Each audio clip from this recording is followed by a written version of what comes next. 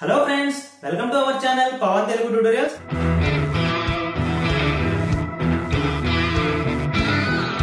So ఈ రోజు మన టాపిక్ వచ్చేసరికి మనం డైలీ చాలా రకాల వెబ్సైట్స్ అయితే విజిట్ చేస్తూ ఉంటాం కదా.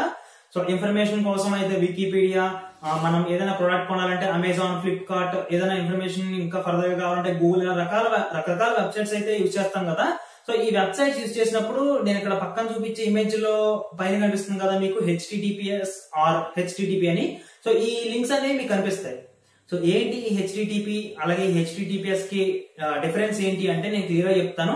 అలాగే చాలా నెససరీ ఇన్ఫర్మేషన్ అనమాట మీరు వీడియోని ఇక్కడతో స్కిప్ చేయకండి అండ్ వరకు చూడండి. సో హెచ్టిటిపి అంటే హైపర్ టెక్స్ట్ ట్రాన్స్ఫర్ ప్రోటోకాల్ అలాగే హెచ్టిటిపిఎస్ అంటే hypertext transfer protocol secure so మనం ఓపెన్ చేసిన వెబ్సైట్ సెక్యూరా కాదా అని చెప్పేసి ఈ దీని ఈ టూ బేసిస్ మీదే మనం చూసుకోవాలన్నమాట. ఎస్ ఉంటే సెక్యూర్ ఎస్ లేకపోతే సెక్యూర్ కాదు. సో ఈ విషయం వినంగానే మీరు మీరు చూసే వెబ్సైట్స్కి ఎస్ లేకపోతే అక్కడతో క్లోజ్ చేసేయకండి. సో ఫుల్గా వాచ్ చేయండి వీడియోని. సో మనం డైలీ చాలా రకాల వెబ్సైట్స్ అయితే ఓపెన్ చేస్తా ఉన్నాను కదా. సో ఓపెన్ చేసినప్పుడు మనం personal information like debit card number మనం Google account password Facebook password so ఇలాంటి లాగౌట్ అయిపోయారు మీరు సైన్ ఇన్ అవ్వండి అని చూపిస్తూ ఉంటాయి కొన్ని వెబ్సైట్స్లో.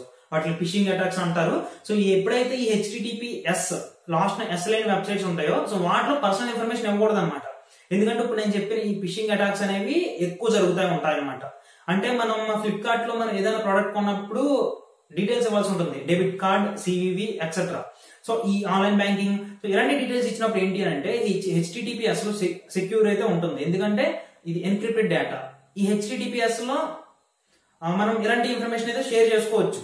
ఎందుకంటే అప్పుడుతో ఆ ప్రాసెస్ అయిపోయిన తర్వాత ఆటోమేటిక్గా డిలీట్ అయిపోతుంది మన ఇన్ఫర్మేషన్ అనేది. కాకపోతే ఈ హెచ్టిటిపి వెబ్సైట్స్లో ఏంటి అని అంటే మనం ఇచ్చిన ఇన్ఫర్మేషన్ ఖచ్చితంగా థర్డ్ పర్సన్ యాక్సెస్ చేసుకోగలుగుతాడు. అలాగే వెబ్సైట్ ఓనర్ కూడా అలా స్టోర్ చేసుకోగలుగుతారు అంటే మనకు సెక్యూర్ ఉండదు అనమాట అంటే మన వాట్సాప్లో encrypted end to end encrypted data అంటా ఉంటారు కదా సో సేమ్ ఇదే ప్రాసెస్ అనమాట ఇక్కడ కూడా. మన క్లయింట్ అలాగే వెబ్సైట్ ఓనర్ ఎవరైతే ఉంటారో సో వీళ్ళిద్దరి మధ్యన థర్డ్ పర్సన్ కూడా యాక్సెస్ చేసుకోగలుగుతాడు ఈ హెచ్టిటిపి ఉన్న వెబ్సైట్స్లో. సో ఏంటి అంటే మీరు విజిట్ చేయొచ్చు. ఆ ఇన్ఫర్మేషన్ చదువుకోవచ్చు ఏమైనా వీడియోస్ ఉంటే వాచ్ చేయొచ్చు. కాకపోతే మన personal information like Facebook passwords లేదంటే మనం ఏదైనా పర్చేస్ చేసినప్పుడు మన debit card numbers credit card numbers online banking user IDs so ఇలాంటివి ఇవ్వకూడదు అనమాట ఎలాంటి వెబ్సైట్లో ఈ హెచ్టిటిపిలో. సో నెక్స్ట్ హెచ్టిటిపిఎస్లోకి వచ్చినట్లయితే ఇది సెక్యూర్ వెబ్సైట్ అలాగే దీనికి సర్టిఫికేషన్ కూడా ఉంటుంది అనమాట మనం ఎక్కువ ఆన్లైన్ బ్యాంకింగ్కి ఇవే వాడాలన్నమాట ఇంకా ఏవి వాడకూడదు. సో దీంట్లో ఏంటి అంటే end to end encryption. So మనం పంపించిన ఇన్ఫర్మేషన్ థర్డ్ పర్సన్ యాక్సెస్ చేయకుండా డైరెక్ట్గా సర్వర్లోకి అయితే రీచ్ అవుతుంది. అలాగే గ్రీన్ కలర్లో చూపిస్తుంది. గ్రీన్ కలర్లో చూపిస్తుంది అంటే సెక్యూర్ అని అర్థం. సో అర్థమైంది కదా ఎలాంటి వెబ్సైట్స్లో మనం పర్సనల్ ఇన్ఫర్మేషన్ ఇవ్వాలి ఎలాంటి వెబ్సైట్స్లో ఇవ్వకూడదు?